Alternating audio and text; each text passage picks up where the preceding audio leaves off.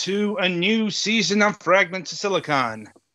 I know it's always a bit weird with our show because we consider the Wednesday broadcast the first actual show of the season, but these are the first actual broadcasts because the reviews don't count towards numbers in terms of when we you know broadcast a week. Just how it goes. Anyway, um, we're back. We've got four uh, games up as usual. Um, first of which is the Vasara collection. Um, so I suppose a bit of backstory here.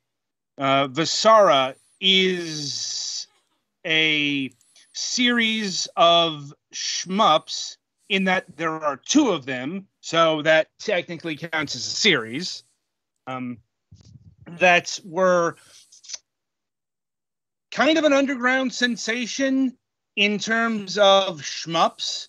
And considering this is some, these are games from 2000, 2001, we're already talking about um, the era when shmups went very underground, very cultish. You know, it's like the shmups time in uh, the limelight as a mainstream genre really like the mid 80s to the early to the early mid 90s you know before 3d came along and changed our perceptions of what a shooter could be. You know because that is what uh, the shmup contracts to in case you didn't know. A spaceship shooter or a shoot 'em up if you will. Like then the FPS came along. Anyway, um, and Vasara was not put out by you know one of the heavyweights. Like it wasn't say Gigawing or Mars Matrix or Strikers. I'm like, um, it was the final projects of a company called Visco. Uh, again, uh, they had a long history. Not really going to get into it here because that's a topic in and of itself. Uh, they did a lot of Neo Geo work, uh, let's just say, and Vasara, They were kind of uh, they were the swan song, I suppose, of this company. I, I think they lasted a bit longer uh, as a producing entity, but these are like these are generally held as you know, if not the highest works that they ever put out, uh, among the top. Um, but the Vasara duo here have re- remained, even by shmup standards, fairly obscure. Like you kind of have to like even if you're in you know your gradiuses from your R types, Vasara isn't the name that comes up because well just look at the name attached to it, Visco.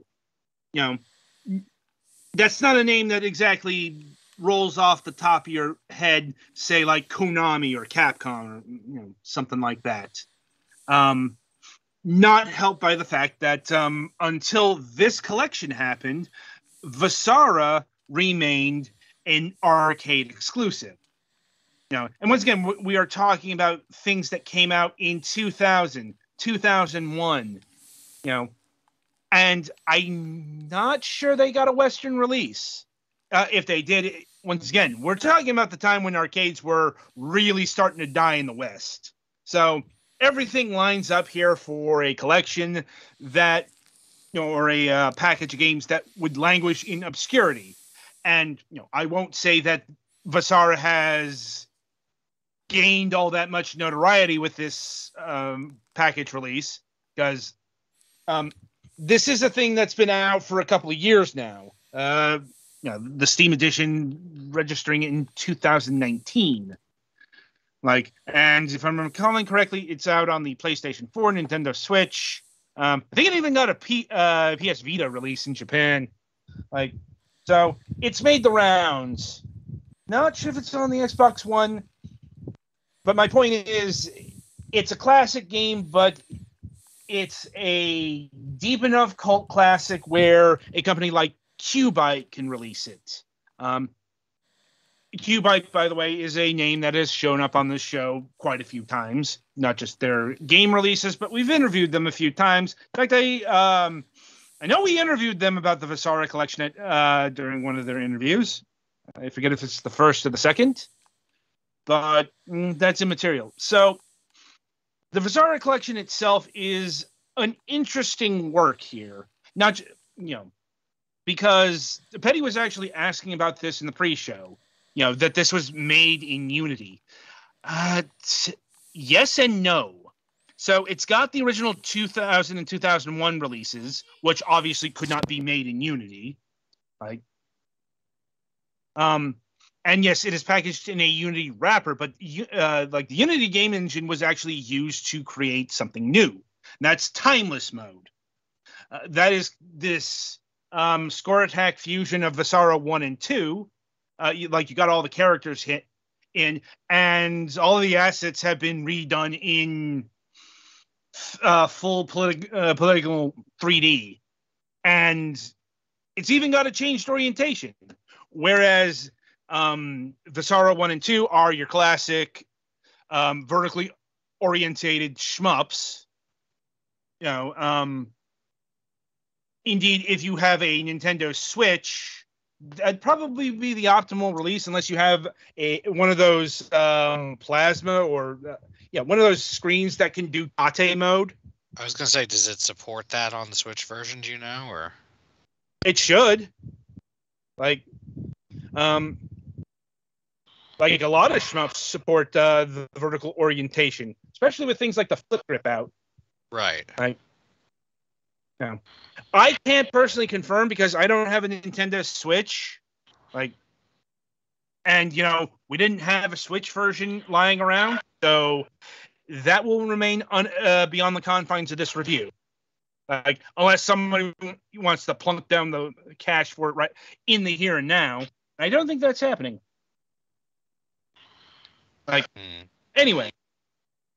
So, yeah, getting back, uh, Timeless Attack is oriented to, well, modern uh, screens. It's in widescreen, horizontal widescreen. And I'm like, I'll be honest, I'm not sure how much commentary I can offer on such an orientation change. I'm not the biggest uh, shmup fan in the world.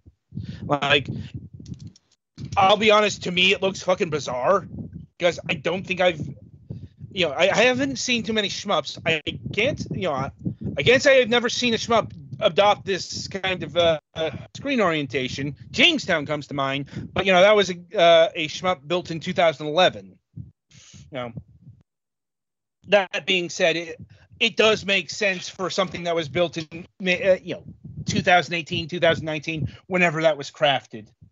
Like, um, so it shouldn't be a big problem. Um, I, I guess my bigger issue is the actual assets here. I'll get to the uh, to the core of the matter. They look not good. Like, but that's kind of what I was expecting. Um, because look, um, this is clearly 3D done on a budget, and you know it's something compared to you know like the water looks overly reflective, but it's not it doesn't have the fine detail that the original two games have. Because once again we're talking about games that were crafted um, at you know like peak sprite animation uh, in the old s- style. Also has a problem like, where you don't go left and right quite fast enough you know this maybe not quite metal slug level but it's still very impressive 2D artwork. Um, now, as far as the uh, original two Vasara games, uh, they are very solid shmups. Um, very solid arcade things. Um, my enjoyment of them was ruined by an arcade design philosophy that I haven't seen often, but when I ha- see it, I instantly hate it and that is when you get to the last level and all of a sudden it changes the des- uh, the design. That is to say, oh hey, remember all those infinite continues that you got? That's gone. You actually have to complete the level on a uh, set credit, or else you go back to the hmm. beginning. I fucking hate this. That is antithetical to arcade game design. That's something from the console. Like I can name a few games. Like I hated it in Time Soldier. I hated it in Narc. I hated it here. Goes back It's to like- go back to the beginning of what? The level. Okay. It's- So so there are no you can't Yeah. You just have to do the last level on one life.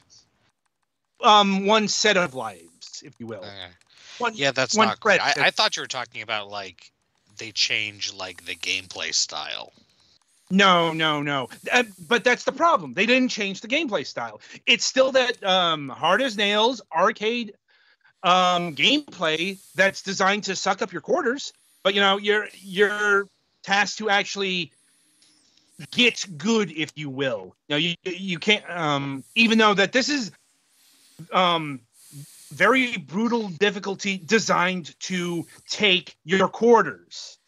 You know, it's like you can still um, put in credits, quarters, whatever you want to call them.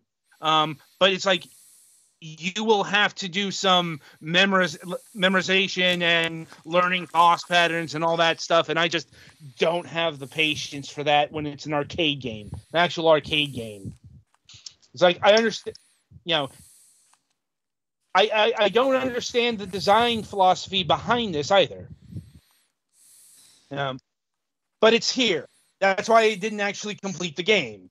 You know, it's still a sol- it's still a solid shmup, but um, I wouldn't put it on my greatest ever list. Let's say that. Now, if this was something that were ported to say that or released on the Dreamcast, um, or the PlayStation One, I'd understand that. That's just console game design. You don't get the uh, infinite credits but you know you usually get the continue. I you know depending on the game you know some of them have limited continues. That's more of an arcade um, hangover. But like i said th- this is just really unusual for arcade game design.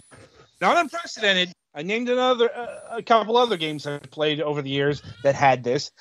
And yeah i i don't like it. You know i don't know how subjective that is.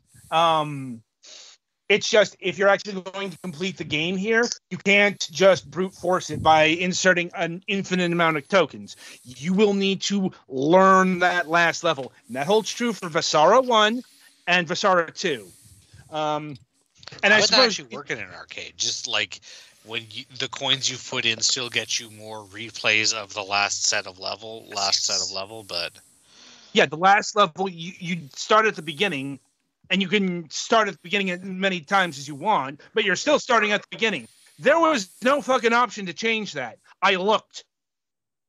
And um, it does have, and the, games do have diffi- difficulties um, segment or uh, options, but even like easy with the most amount of lives and bombs and what have you, you're still going to die a lot because this is a late 90s vertical shmup from the arcade. It's Uh-huh. still, you know, it's not quite Touhou bullet curtain levels of Bullet Hell, but we are still firmly in the Bullet Hell se- um, segment of when shmups formulated.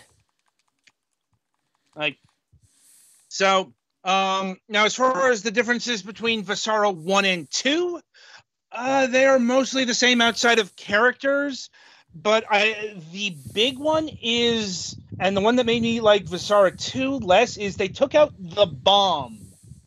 Okay, so in Vasara 1 you have your you have two let's say screen clearing attacks. You have your let's say more traditional bomb. It does it does differ from character to character. Um like it will have a unique function on each character but it, you know it still does the screen clearing bomb thing. Um though it's not just an aesthetical thing it's how the projectile comes out and such. Um and the other one is the titular Vasara attack.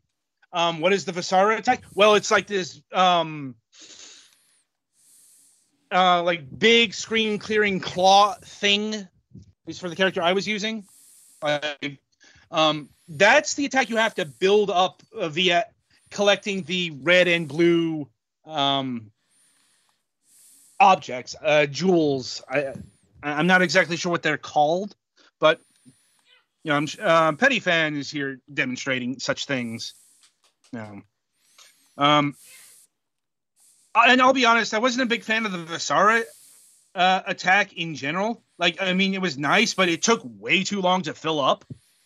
Um, that's why I like the bombs. They operated like standard operating shmup bombs. You use them, you have a limited amount. They replenish when you die, um, and you can get more of them. Uh, the, the Vasara attack felt like a, you know, something for a different kind of game. You know, where you could, you know, pay attention to all the blue objects and maybe get them without dying. As I said, you know, I mean, look at what Petty's fighting here. This is primo bullet hell from the from the time frame. You know, it, you know, it, it looks very toned down compared to you know, a bullet curtain game, but this is still some fucking bullet hell. But also, you probably have a more than one pixel hitbox. Yeah, yeah. You have a very It- big it- hitbox. Good lord.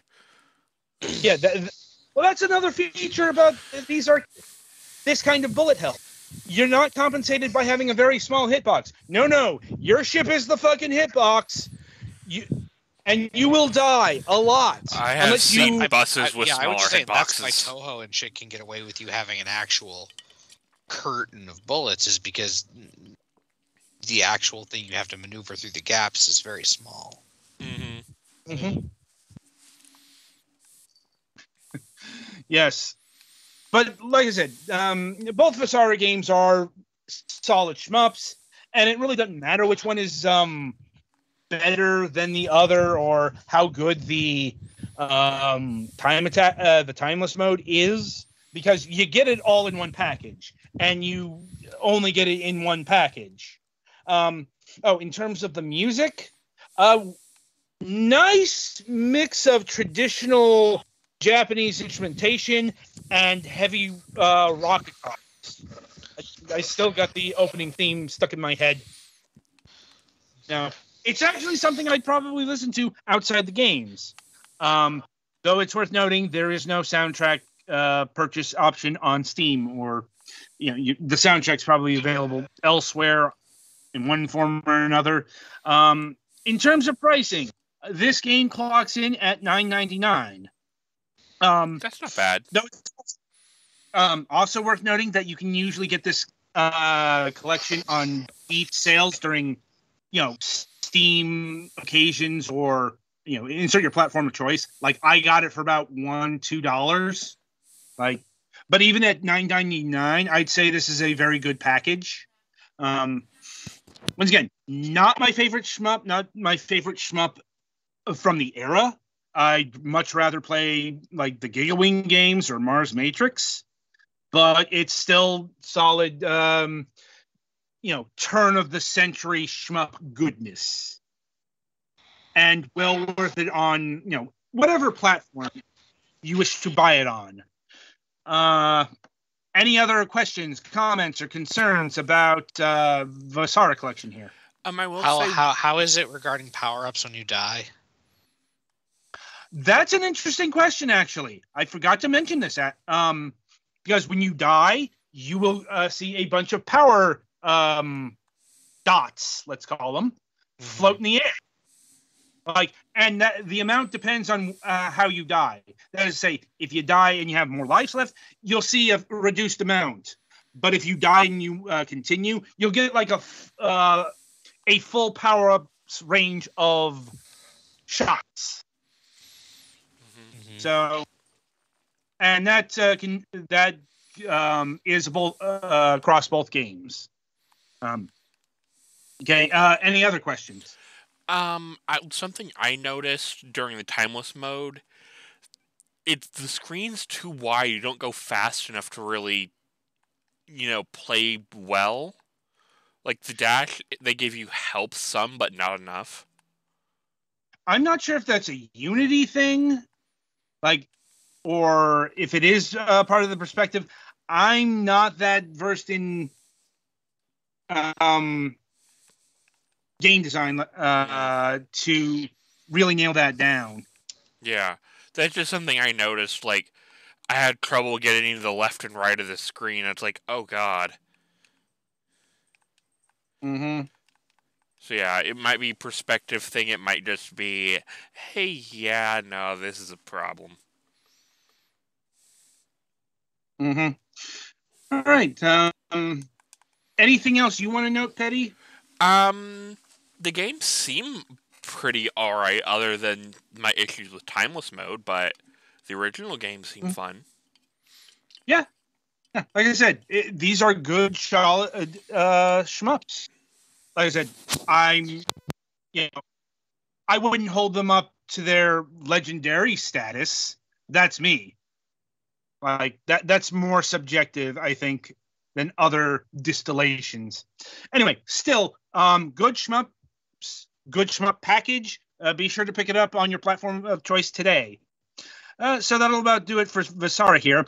Be sure to tune in after the break as Petty Fan will be reviewing Defend Your Crypt,